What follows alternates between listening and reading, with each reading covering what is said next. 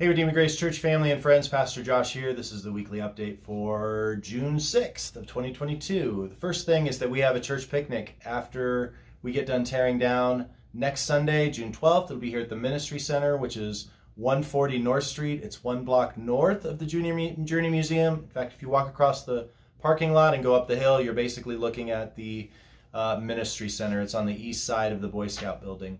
Uh, meat will be provided to grill, so we just need you to bring sides, chips, cookies, drinks, whatever, and then bring a lawn chair, any sort of yard games that you enjoy. And I hear that there might be a kickball game that, that starts up, so uh, plan on coming next week and invite some friends if you'd like.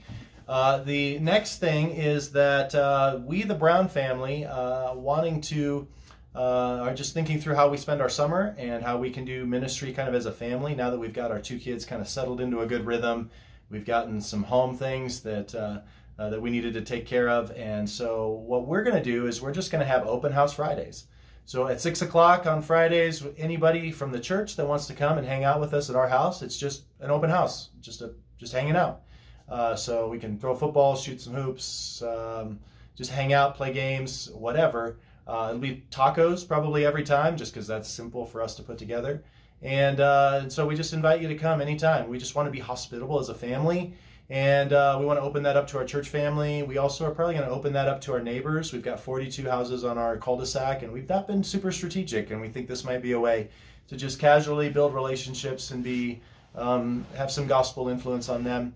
Uh, also, I lead the local Baptist Association of Pastors, uh, about 25 churches here in the Black Hills that uh, that I help uh, help them overcome issues and help them get connected. We may invite some of those uh, pastors because some of them can get pretty lonely and ministry can be tough on families, and so we may invite them as well. So uh, it's just our desire to use hospitality as a way to do ministry, and we would love to have you come be a part of it.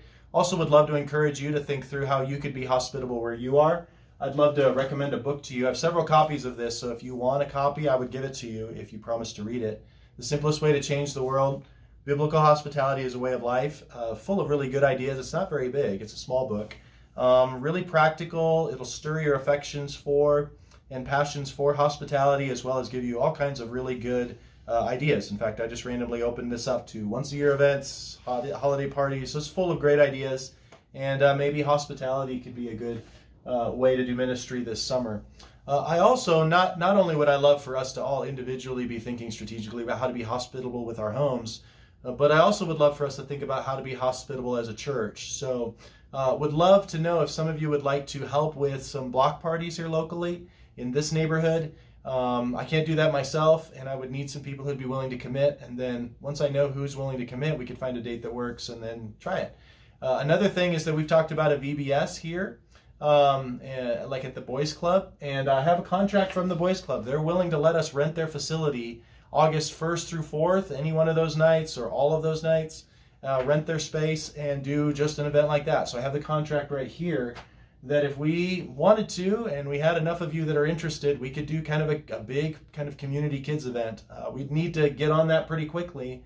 Um, and I'm willing to kind of help organize it, but uh, but I would need probably five or six families worth of people uh, to help make sure that this is a safe, thoughtful, effective event. So uh, so let's take hospitality and think of it in our individual homes, and we, the Browns, are going to take some steps in that.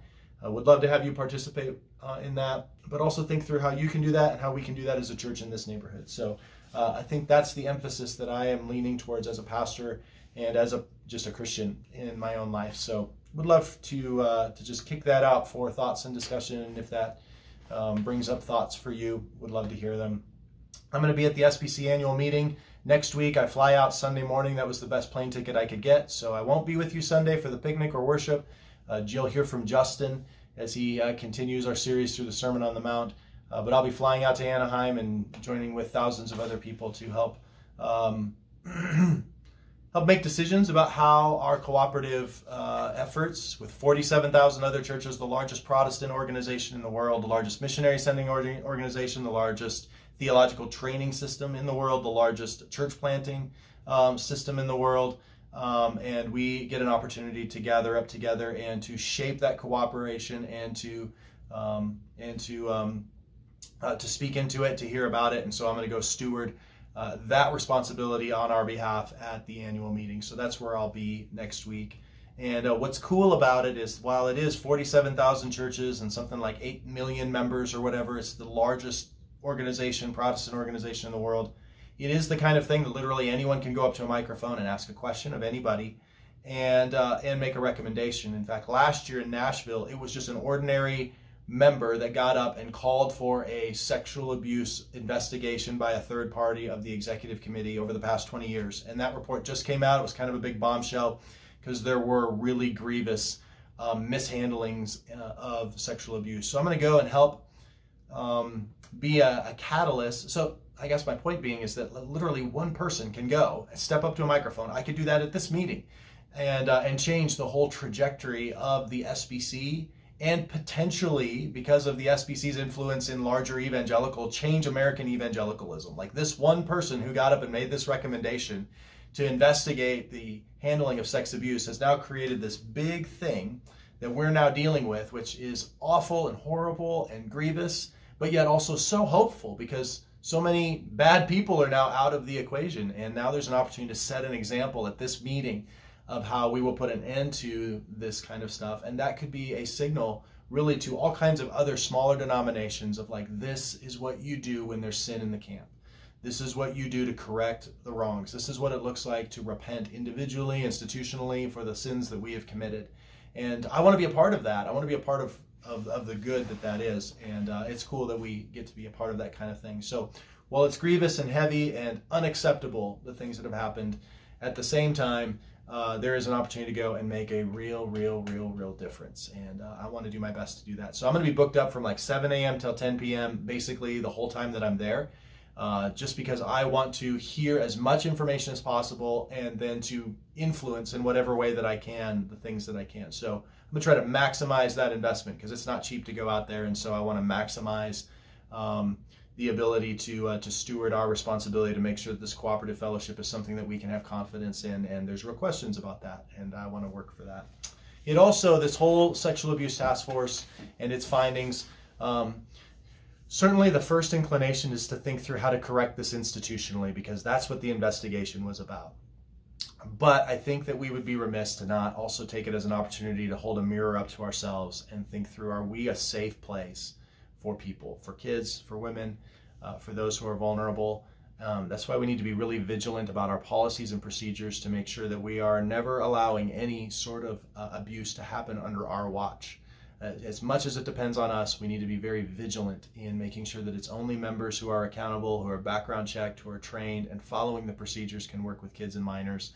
And then I also want us to make sure that we're always a place that, uh, that, that things can be brought to light. So if something has happened to you, um, either at our church or some other church, we, uh, I, I would hope that we could become a place that you could say something, that there would be someone, whether that's too intimidating to come to a male pastor about that, I understand, but that there would be someone in the congregation that you would be able to go to and uh, would bring that to the light, that we would live up to our name of being Redeeming Grace, a place of healing. Often churches are really hard places to bring up abuse and trauma, and I don't want our church to be that. So I'm going to try to make efforts to make sure that we as a church are a place that's uh, that's trauma informed and handles these things well, uh, that cares well for victims, believes them, doesn't add to their trauma, that has zero tolerance for those who have been offenders, and uh, and that we do the right thing every time. I deeply grieve. Even one child or one woman that has been mistreated is one too many, and um, and not only do we need to prevent that with good policies and procedures, that's really important, but let's not stop there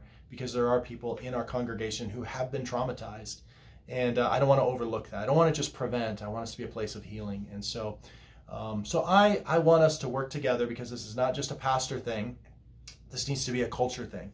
So if there are some of you that would be willing to get trained in how to handle these kinds of issues, if maybe you already have some training that would be helpful for us as a church to become a safer place uh, for those things to be brought up and dealt with, um, I'm not an expert on any of this stuff, but I, I, do want to pastor well, and I want our church to be a place where we have really um, skilled, um, thoughtful, gracious, um, strong people that uh, that can help those that are hurting and uh, help us walk through a healing process. So.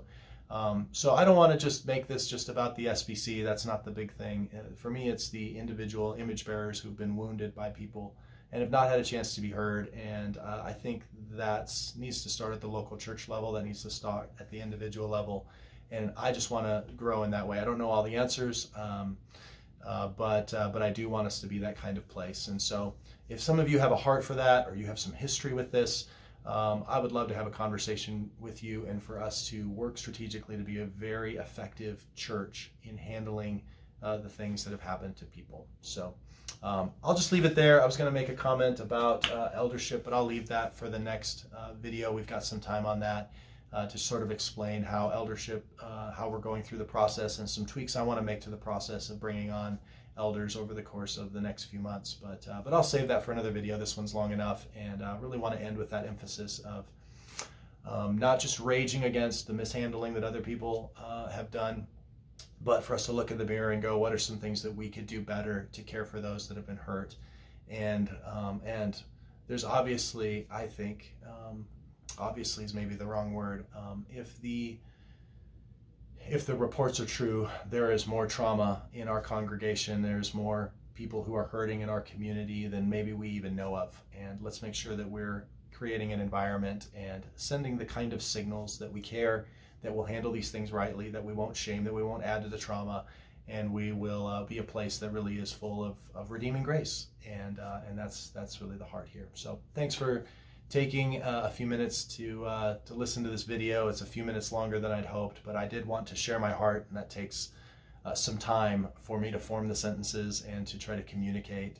Uh, the significance of what's going on right now, not just at the national level of our denomination, but individually at the local level, and uh, and where we want to go from here and what we want to learn. So pray for us, and if you have input in ways that we could be better in terms of how we handle those who've been hurt, um, I definitely need your help, and we need this to be a culture of our church and not just a uh, initiative when something bad happens in the news. So, all right, I love you. Uh, would love to see you on Friday. Uh, I'll uh, won't see you probably at all next week, uh, but uh, but you can always call or text, and I'd love to pray for you, talk to you about anything at any time. So God bless you. Have a great week. We'll see you soon.